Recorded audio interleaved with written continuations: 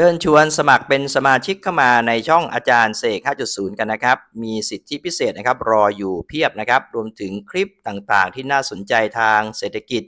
การเงิน การเมืองสังคม แล้วก็ภูมิรัฐศาสตร์โลกนะครับ ในเชิงลึกนะครับ รวมถึงคลิปในเรื่องของจิตคลื่นพลังงาน ในแนววิทยาศาสตร์นะครับที่น่าสนใจนะครับ ต้องขอขอบคุณทุกการสนับสนุนนะครับจากทุกท่านมาณที่นี้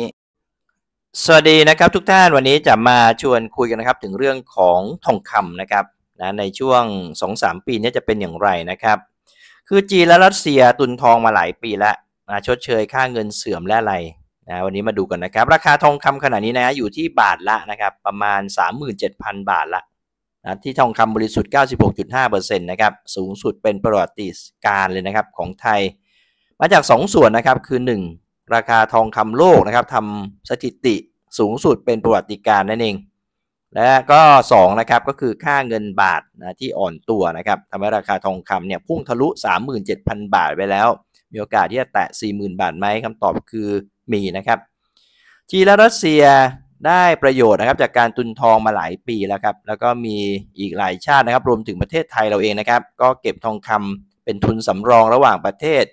เป็นสิ่งที่หลายชาติเนี่ยโดยเฉพาะทางตะวันออกเนี่ยชอบกัน แต่ก็มีบางชาติในตะวันตกนะครับที่ไม่ชอบทำกันนะอย่างประเทศแคนาดานะครับทำข่าวนี้ย้อนไปหลายปีก่อนนะที่ผมทำคลิปเนี่ยก็ปรากฏว่านะได้ทำการขายทองคำสำรองเนี่ยทิ้งไปเกือบหมดแล้วนะครับนะในแคนาดานะครับ ในปัจจุบันก็ไม่ทราบเหมือนกันนะว่ามีการซื้อกลับคืนมาหรือไม่นะครับ แต่ว่าจีนกับรัสเซียเนี่ยคู่หูพันธมิตรเนี่ยนะครับ นะซื้อตุนทองคำนะเข้าสู่ธนาคารกลางเยอะเลยนะครับ การเก็บทองคำเนี่ยซึ่งนักลงทุนทั่วโลกเรียกมันว่าเซฟฮับเว่นนะหรือหลุมหลบภัย ก็คือมันมีประโยชน์นะยามเสถียรภาพโลกไม่ดีไม่มีหรือสั่นคลอนนั่นเอง ประโยชน์ที่เห็นได้ชัดนะครับจากข้อมูลทางเทคนิคคือมันทำหน้าที่ก็ preserve wealth นะหรือว่าปกป้องสงวนรักษาความมั่งคั่งให้กับผู้ถือครองมันในยามโลกไร้เสถียรภาพนะครับคล้ายกับช่วงเวลานี้นะครับใน ทศวรรษ 2020เนี่ยนะครับ เราจึงมองเห็นราคาทองคำช่วงนี้เป็น new high นะ